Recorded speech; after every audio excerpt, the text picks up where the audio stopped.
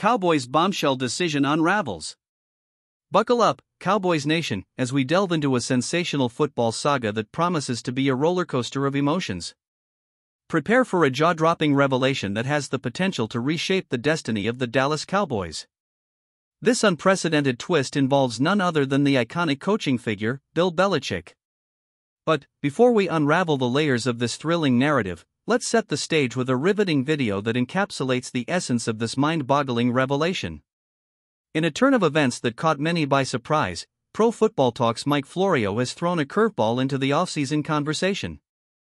According to Florio's recent report, the Cowboys were actively pursuing the services of Bill Belichick, a move that would undoubtedly have sent shockwaves throughout the football landscape.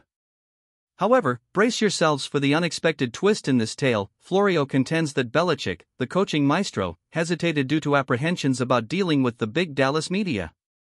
Let's dissect the latest developments. Florio suggests there's a belief in some league circles that both teams expressed interest in Belichick, that Belichick didn't reciprocate, and that those teams then decided to stick with their current coaches.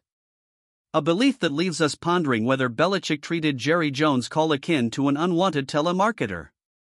But wait, there's more. Florio introduces an intriguing angle, proposing that Belichick is steering clear of big market media, hinting at a potential move to Atlanta over Dallas or Philadelphia. Now, Cowboys faithful, it's time to navigate through the twists and turns of this coaching saga. Is this a genuine attempt by the Cowboys to secure the coaching prowess of Bill Belichick, or are we witnessing the birth of an elaborate football fable? Join the debate, share your insights, and let's unravel the truth together.